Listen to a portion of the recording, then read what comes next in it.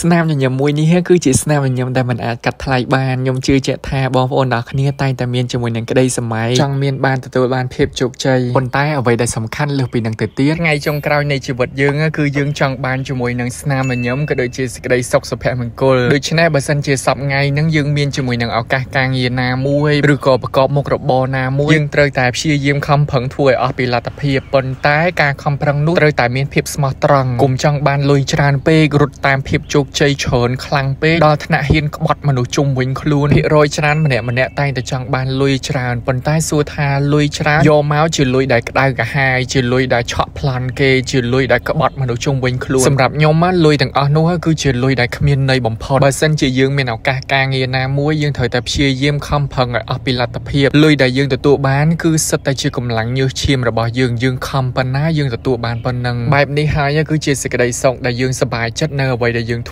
សប្បាយចិត្តនៅអ្វីដែលយើងមានមិនលោភលន់មិនហួសហេតុពេកព្រមទទួលយកព្រមគ្រប់គ្រាន់ពីព្រោះមនុស្សយើងម្នាក់ម្នាក់អាកើតមកអត់មានយកអីមកតាមទេសំបីតាអាវមកកាផ្លេក៏អត់មានយកមកតាមដែរហើយនៅពេលដែលស្លាប់ទៅវិញក៏យើងអត់អាចយកអីទៅតាមបានដែរដូច្នេះនៅពេលដែលមានជីវិតណាមនុស្សម្នាក់ម្នាក់គួរតែព្យាយាមធ្វើសេចក្តីល្អទៅគ្នាទៅវិញទៅមកឲ្យបានច្រើនបំផុតនៅអ្វីដែលអាចធ្វើទៅបានសង្ឃឹមថាបងប្អូនអ្នកគ្នានឹងចូលចិត្តនៅអ្វីដែលខ្ញុំចែកម្លែកបន្តិចបន្តួចហើយបើសិនជាបងប្អូនអ្នកគ្នាមានគំនិតល្អល្អបន្ថែមទៀតបងប្អូនអ្នកគ្នាអាច comment នៅខាងខមនឹងបានខ្ញុំពិតជាសប្បាយចិត្តមែនតើនៅពេលដែលបងប្អូនអ្នកគ្នា comment ល្អល្អហើយខ្ញុំពិតជាបានអានម្ដងមួយម្ដងមួយម្ដងមួយមែនប៉ុន្តែគ្រាន់ថាពេលខ្លះអត់បាន reply បងប្អូនអ្នកគ្នាអស់អញ្ចឹងណាបងប្អូនអ្នកគ្នាពិតជាអរគុណបងប្អូនអ្នកគ្នាសម្រាប់ការចំណាយពេលវេលាមើលវីដេអូខ្ញុំក៏ដូចជាចែកម្លែកនៅអ្វីល្អល្អនៅខាងខម comment ហើយជាពិសេសនោះគឺ like share វីដេអូខ្ញុំរហូតហ្មងនិយាយទៅគឺអរគុណបងប្អូនអ្នកគ្នាខ្លាំងមែនតើសម្រាប់សប្តាហ៍នេះខ្ញុំនៅតែបន្តព្យាយាមខំប្រឹងធ្វើអំពើល្អតាមអ្វីដែលអាចធ្វើទៅបានម្ដងតិចម្ដងតិចម្ដងតិចពីព្រោះដោយសារជីវិតយើងគឺខ្លីមែនតើយើងមើលឃើញហ្មងអត់ដឹងថាតើពេលណាទៅឬក៏ពេលណានៅទេដូច្នេះកុំភ្លេចសាងអនុស្សាវរីយ៍ល្អល្អ